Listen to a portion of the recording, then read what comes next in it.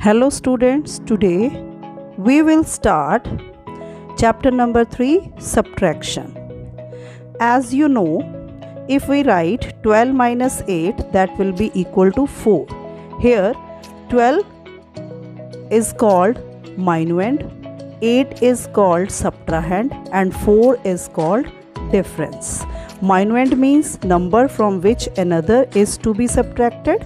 Subtrahend means number to be subtracted from another and difference is the answer of the subtraction. Now the important rules for subtraction of large numbers. Number 1. Place the minuend above the subtrahend.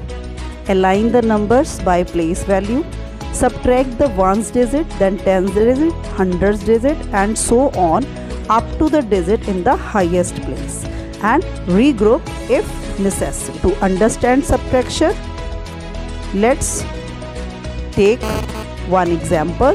Subtract 24765 from 48876 so arrange these numbers the bigger number first then the smaller number 48,876 minus 24,765 and subtract place wise. First of all ones, then tens, then hundreds, then thousand and then 10,000. And in this way we can subtract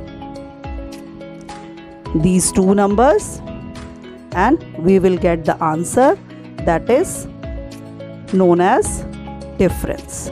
So the difference is 24,111. Now the next example, subtract 2,57,087 from 7,64,392. Again arrange in columns bigger number first and then the smaller number and subtract place wise. Here we cannot subtract 7 from 2 so we can borrow from the next number and then subtract.